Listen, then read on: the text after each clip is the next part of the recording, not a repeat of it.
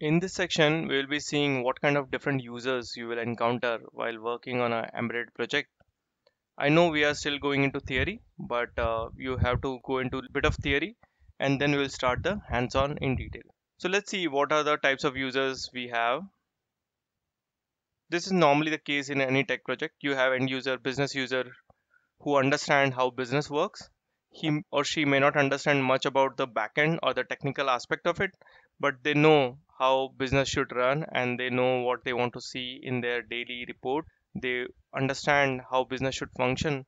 So these are the very critical part of any business. These are the end user who will be the consumer of your report which you will be creating or the model you will be creating.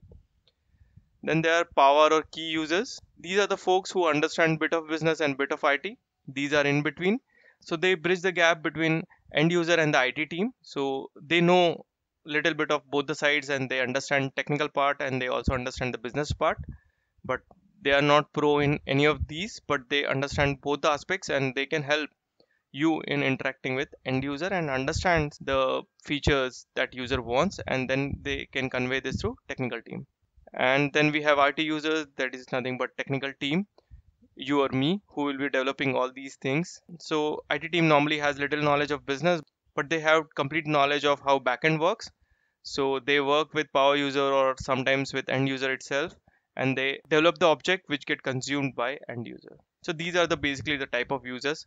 So SAP also provides a lot of end user tools which end user can directly consume. But what I have normally seen is end user is normally into created reports. They want ready to use reports. They don't want to create stuff on their own because they are busy with their business and they don't want to deviate from them power users are someone who can still work on some of the technical aspects and they can also create some kind of reports or models sap give you those access for power users as well and it users is obviously will be doing the heavy lifting of backend so let's see uh, various apps are provided for user groups. So end user normally have a lot of options available like a multi-dimensional report. Any report basically which has a drill down is kind of a multi-dimensional report. There is no separate tool for creating multi-dimensional report but any report which has a kind of a multiple screens or multiple options to tweak the report is multi-dimensional report.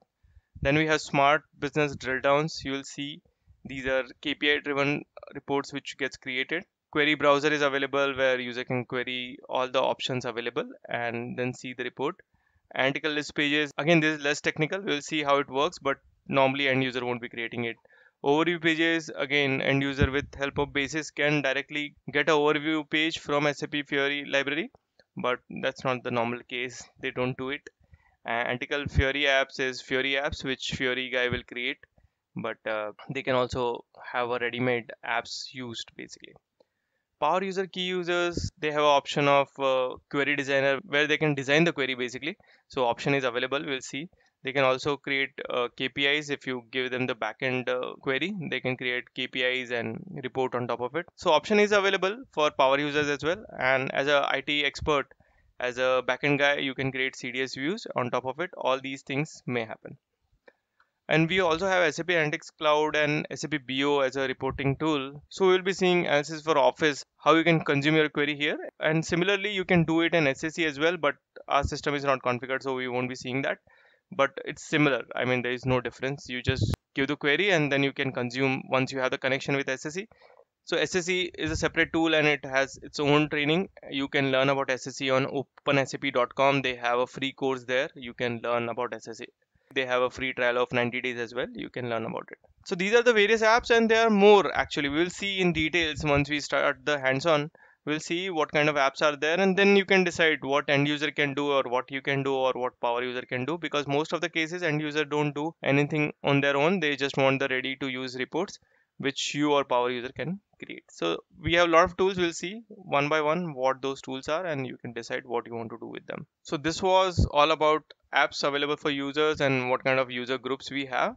We'll go in next section and start with cds views the theory of it and then we'll start creating cds views and you will see how it works. Thank you